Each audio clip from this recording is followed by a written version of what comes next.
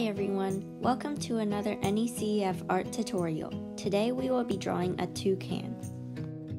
So the materials you will be needing for today are a marker, a piece of plain white paper, some colored pencils, I have black, red, orange, yellow, green, and brown. I'm taking my marker and I'm going to start drawing the beak. The beak is just a curve down and then another curve that connects it into a point. And that is the top part of the beak. For the bottom part of the beak, draw a line and then curve up. To connect the top part of the beak and the bottom part of the beak, draw a line across the three lines so it's connected. Next, I'm going to draw the head which is a curve up from the corner of the beak and then down. And as you can see, the curve ends slightly below where the beak is. And now I'm going to draw the body, which is another curve starting at where I ended the head. And then starting at the bottom corner of the beak, draw a slanted line. And then to finish off the body, I'm drawing another curve and connecting it with the back.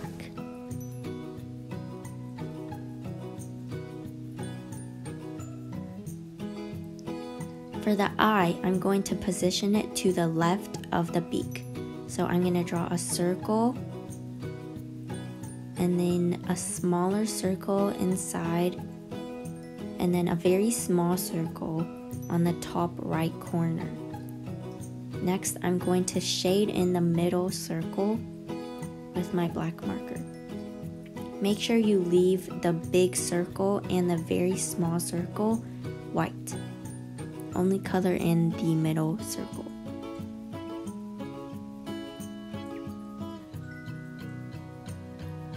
Next, I'm going to draw the wings.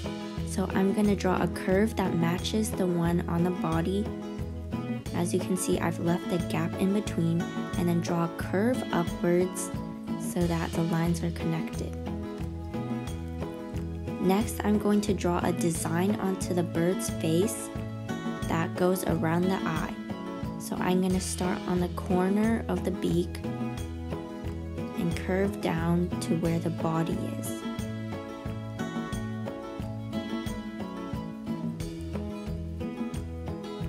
As you can see, it goes around the eye.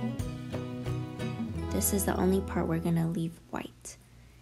Next, I'm drawing a few lines on the beak, and this will help us when we're coloring because each gap will be colored a different color.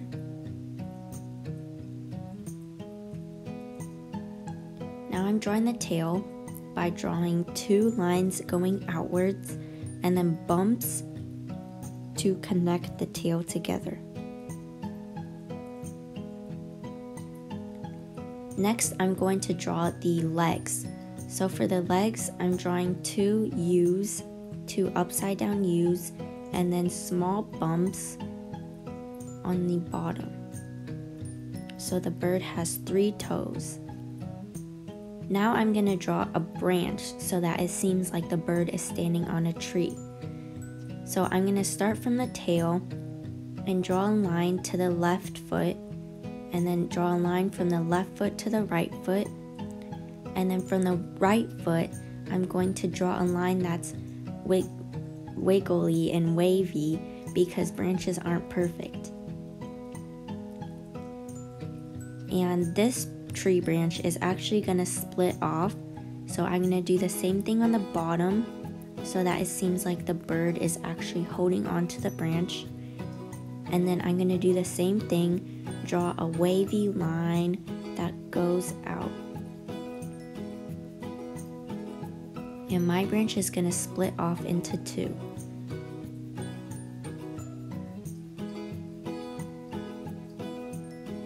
You can draw some leaves on your branches by drawing a curve and it should end in a narrow point and you can draw a line in the middle. You can place your leaves wherever you would like.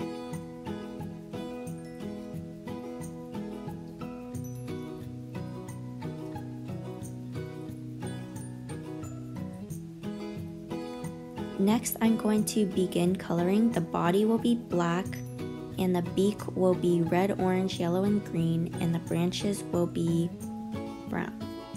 So as you can see, I have colored the body with black, and here I'm using light pressure to color in the wing and the tail. I'm still using black.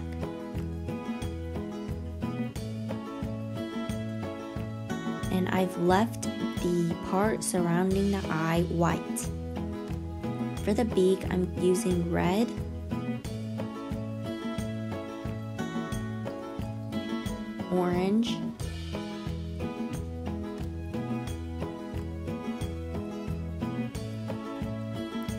yellow,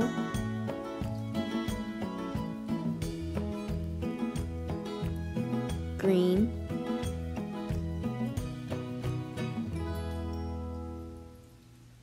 and black. And for the bottom part of the beak, I'm going to be using the orange.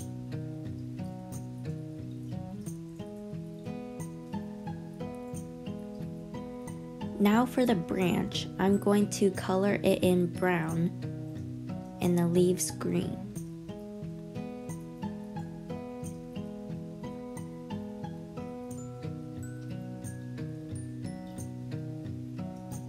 The feet I'm using an orange to color in.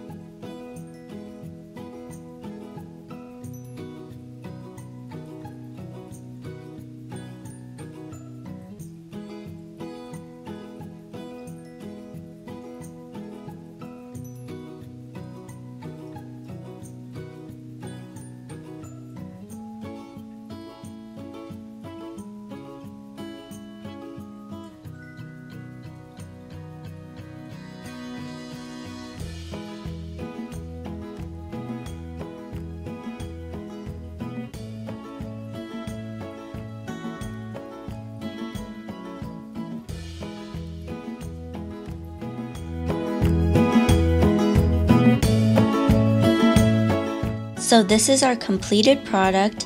I hope you enjoyed this tutorial and please be sure to check out our website to sign up for some free online classes and check out our other videos on our YouTube channel for more tutorials. Thank you.